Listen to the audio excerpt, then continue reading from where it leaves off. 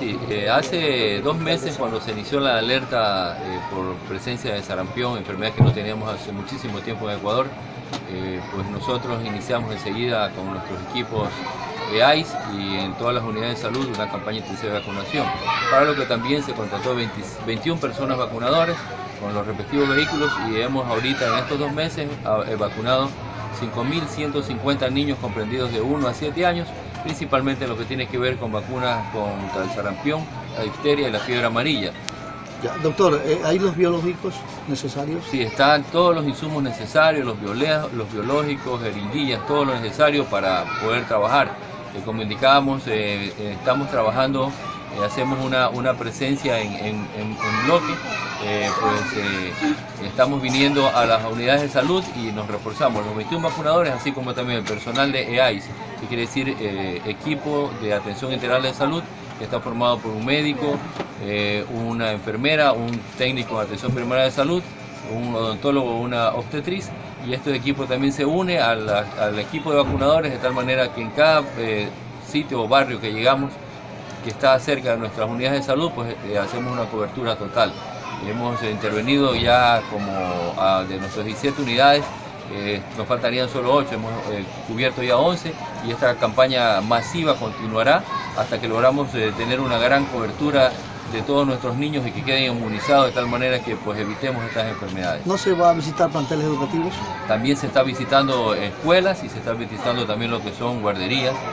pues de tal manera que se cubran toda la población infantil eh, que está en la edad justamente para vacunarse y prevenir estas enfermedades. ¿La posibilidad de que atiendan a lo mejor el sábado, que están las padres de familia en casa? Bueno, eh, nuestro equipo vacunador está saliendo también a las comunidades los sábados. En, los sitios donde vamos también se trabaja sábados, eh, conociendo que muchos niños están en la escuela, pues y también se ha previsto eso, estamos yendo también los sábados en los barrios en donde programamos esas actividades.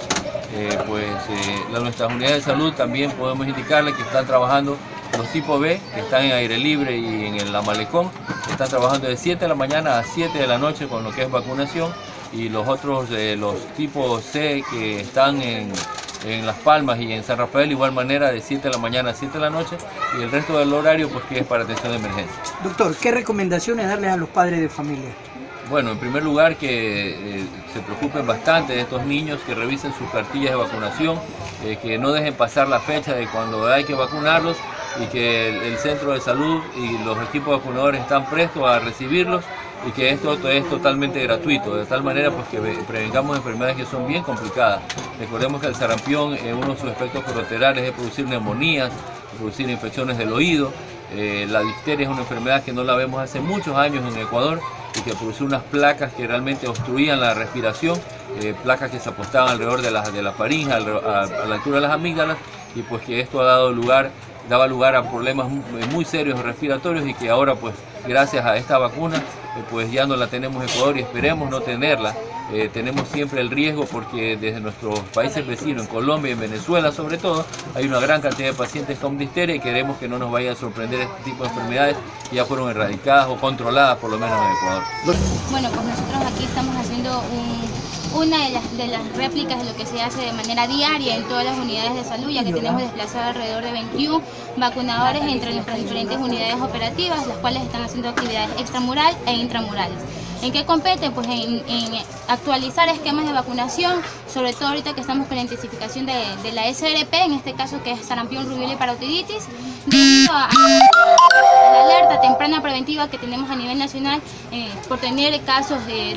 de otros países en cuanto a sarampión, difteria a los padres, a las madres, decirles que esta vacuna es beneficiosa, que no les causa ningún daño. Claro, nosotros llamamos a toda la comunidad que por favor tengan sus carnet de vacunación a la mano y que de esa manera nosotros podamos ayudar y prevenir las enfermedades colocando estas vacunas, que no afectan para nada, más bien ayudan, tienen muchos beneficios, que podemos evitar incluso la muerte de estos niños menores de 5 años. ¿Cuántos niños se han vacunado? Se han vacunado alrededor de 5.150 niños y se han registrado porque dentro de los propósitos que se tiene con esta intensificación es buscar e identificar y tener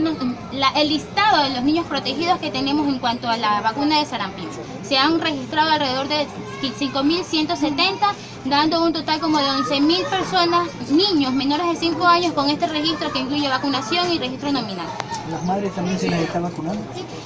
Las mamitas se las, se las vacunan cuando están embarazadas. Dependiendo del esquema de, de vacunación que tengan, se les realiza la vacunación. Y así evitamos el contagio la transmisión al ser humano.